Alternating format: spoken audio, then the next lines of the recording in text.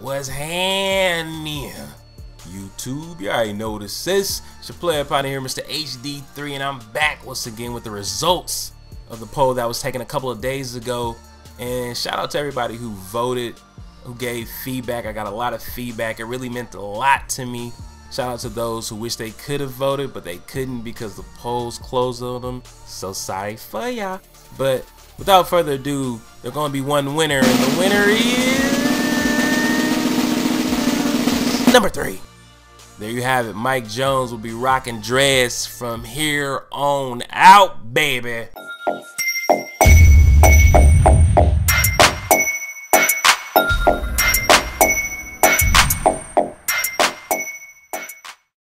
Man, this team sucks. I don't know about y'all, but I'm way, Way better, better than half those clowns out there, y'all. I should be out. I should be out, really out there. I mean, money. You, for example, you're averaging like 26 points in a game. Per should be out there. game. Should be really out there, man. It makes no sense. You're the None only small forward on this team. How's that How's that possible? possible? You're the only one who plays your, Your position. position. You should be out there. What's up with that, man? Man, I don't know, man. Coaches coach and players play. I'm just here to do my job. All right, let's clap it up for these bum niggas, man.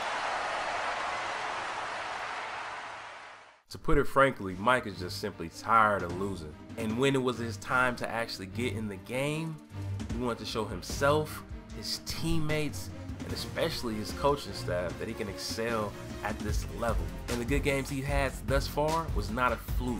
But the defending champions are not just going to roll over easy.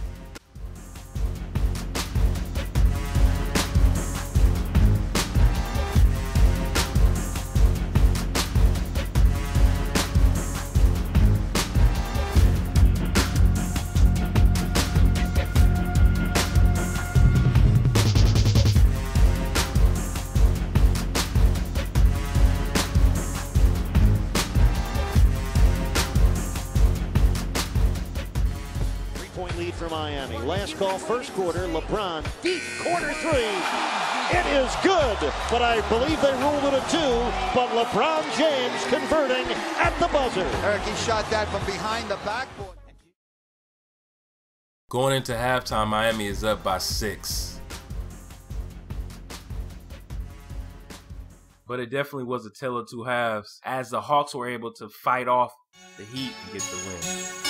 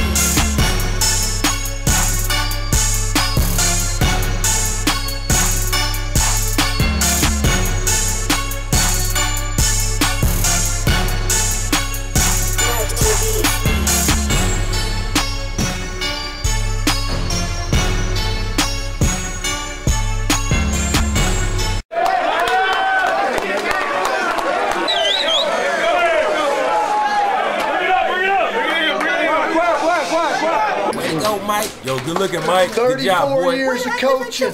This man right here has done his job every single day.